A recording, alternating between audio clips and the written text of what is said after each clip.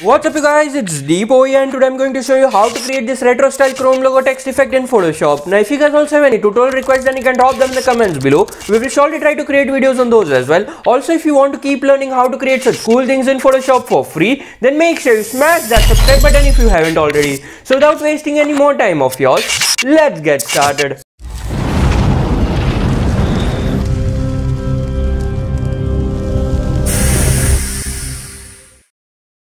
So let's first start by creating a new document. So for that go to file and then select the option as new. After that you can set the width and height accordingly or else you can set it as follows. Width as 3840 pixels, height as 2160 pixels and then set the resolution as 300 pixels per inch and then click on create.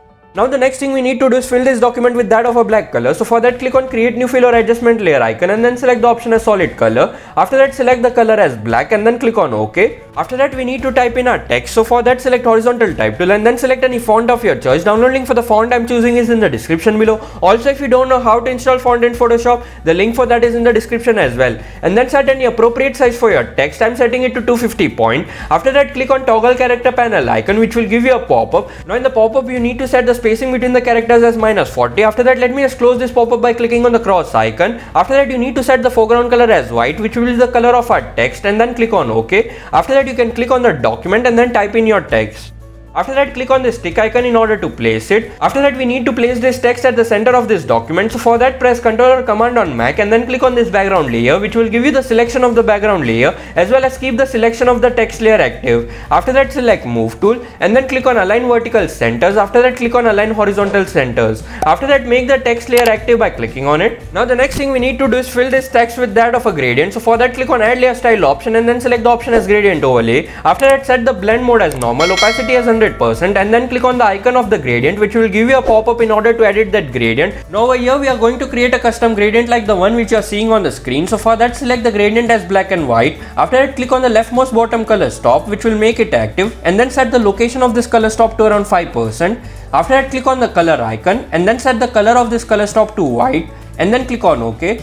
After that we need to create one more color stop. So for that hover at the bottom and one hand tool will appear. After that you can click on that in order to add a color stop and then you need to set the location of this stop to around 25%. After that click on the color icon and then set the color of this color stop as follows DC28D7 and then click on OK. Now again we need to add one more color stop so let's add it and then set the location of this color stop to around 50%. After that click on the color icon and then set the color of this color stop to black and then click on OK. After that we again need to add one more color stop. So let's add it and then set the location of this color stop to around 51% and then click on the color icon. After that set the color of this color stop to white and then click on ok. Now after that we need to add one more color stop. So let's add it and then set the location of this color stop to around 75% after that click on the color icon and then set the color of this color stop as follows. 0f 5f d7 and then click on ok. After that make the rightmost bottom color stop active by clicking on it and then set the location of that color stop to 95% after that click on the color icon and then set the color of that color stop to black and then click on OK. And now our gradient has been created. After that click on OK. After that set the style as linear, angle as 90 degree and then set the scale as 100%. And now we need to add some inner glow to this text. So for that select the option as inner glow and then set the blend mode as multiply, opacity as 100%, noise as 0% and then click on the color icon. After that set the color as follows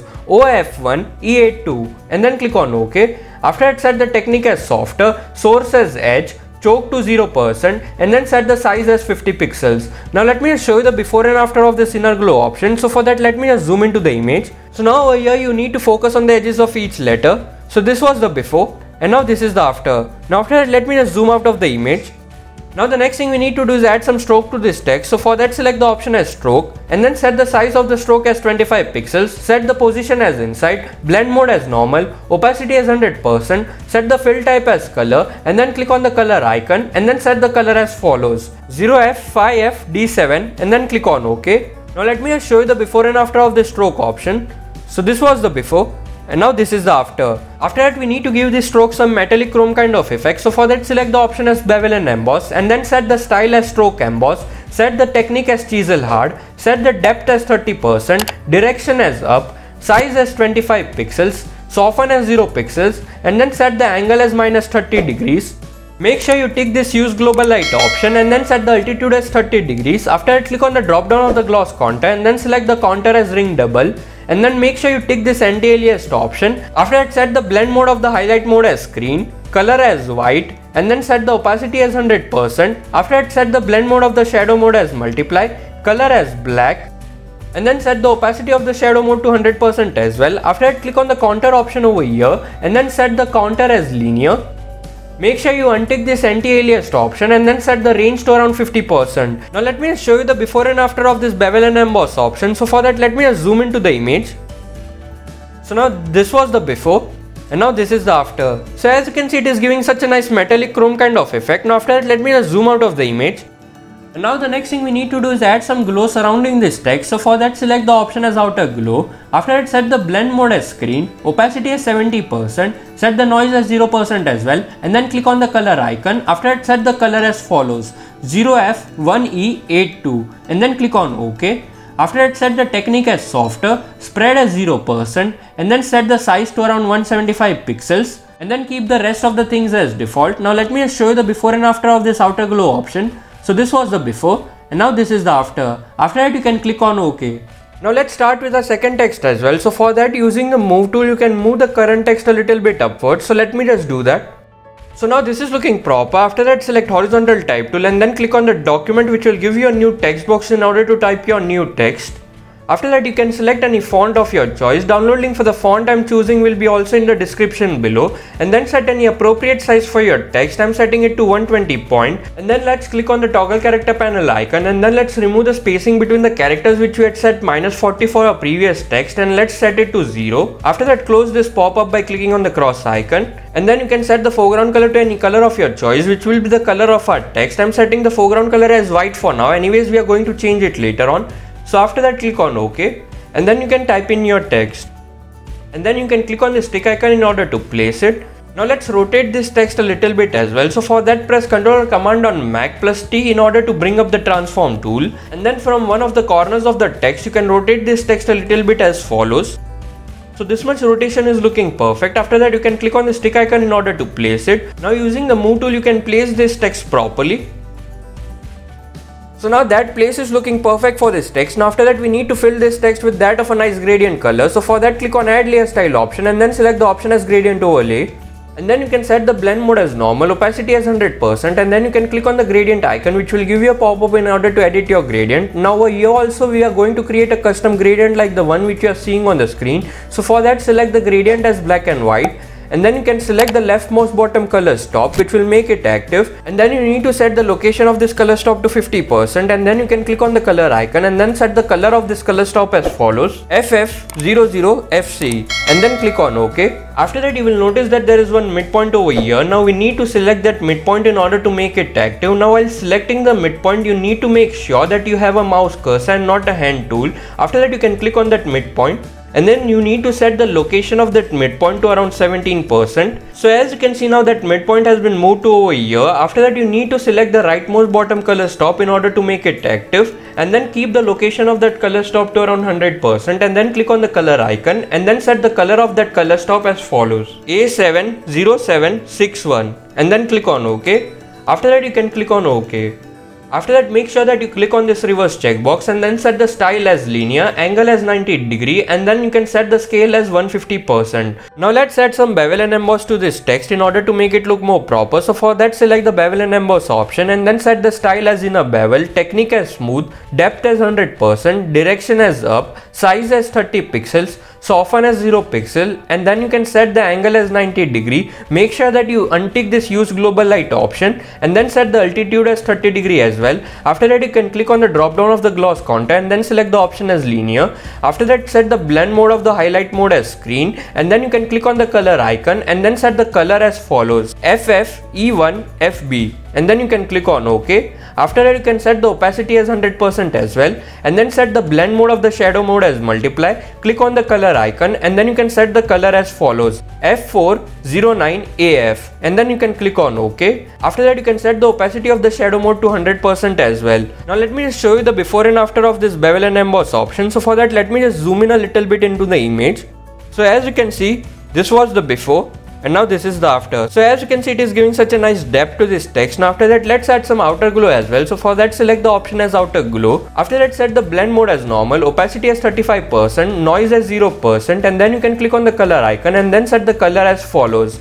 FF 00FC and then click on OK. After that make the technique as softer, spread as 0% and then set the size as 130 pixels and then set the rest of the things as default. Now let me show you the before and after of this outer glow option. So this was the before and now this is the after. Now we need to add some shadows as well in order to make it look like that this text has been placed above our previous text. So for that select the option as drop shadow and then you can set the blend mode as multiply. You can set the color of the drop shadow as black set the opacity as 75%, set the angle as 120 degree and then make sure you untick this use global light option and then set the distance as 10 pixels, set the spread as 15% and then set the size to 20 pixels. After that you can keep the rest of the things as same. So now let me just show you the before and after of this drop shadow effect. So for that you need to focus on the edges over here. So this was the before and now this is after. After that you can click on OK. Now let me just zoom out of the image. So now as you can see our text is almost ready. Now after that we need to fill this image with that of a nice background. So for that go at the bottom and then make the color fill layer active by clicking on it and then go to file and then select the option as place embedded. After that you can select any background image of your choice. Download link for the background image I am choosing is in the description below and then select the option as place. After that you can scale this image in order to make it fit properly over here. So let me just do that. So now this much scaling is looking perfect. After that you can click on the stick icon in order to place it. Now you will notice that there is a bit noise on the background image over here. Now let me just zoom in and show it to you. So as you can see this was the noise which I was talking about. Now we need to add the same kind of noise to our text as well. So for that go at the top and then make the top text layer active by clicking on it. After that press Ctrl or Command on Mac and then select the second text layer which will give you the selection of the second text layer as well as keep the selection of the first text layer active. After that you can right click on the text layers and then select the option as convert to smart object so that you can later on edit this text layers non-destructively. In order to add some noise to this text, go to filter and then noise and then select the option as add noise. And then you can set the amount as 5% and then set the distribution as uniform and then make sure you tick this monochromatic option. After that you can click on OK. Now let me just show you the before and after of this noise effect. So for that let me zoom into the image first. So now this much zoom is perfect. So now this was the before and now this is the after. So as you can see it gives such a nice subtle kind of grain effect over here. Now let me just zoom out of the image. So now the next thing we need to do is add some sparkles to our text in order to make it look complete. So for that create a new layer by clicking on create new layer icon and then select the brush tool. After that you can click on the toggle brush panel icon and then you can go to the brushes panel now over there you need to expand the legacy brushes folder now if you don't see this legacy brushes folder then all you need to do is click on the flat menu over here and then select the option as legacy brushes after that you can click on OK. Now since I have that legacy brushes I will be clicking on the cancel key. After that you can expand that legacy brushes folder and then you need to expand the assorted brushes folder inside the legacy brushes folder. After that you can select any crosshatch brush from it. I'm selecting the crosshatch 4 brush and then you can set the foreground color as white which will be the color of a brush and then you can click on OK. After that make sure that the opacity and the flow of the brush is set to 100% and then using the brush tool you need to click on the document. You can increase and decrease the size of the brush using the square bracket keys of your keyboard. After that using the brush tool you can click on the document where you need to add sparkles as follows. So now as you can see a sparkle has been added over here. Now like this you need to add some sparkles at some random location. Now while adding some sparkles you need to keep on changing the size of the brush. Also you need to change the angle of the brush as well in order to make it look realistic and not uniform. Now in order to change the angle of the brush all you need to do is select the brush settings panel and then you can change this ring dial over here. So as you can see as you change that ring dial it changes the angle of the brush as well. So now let me just add some sparkles and show it to you.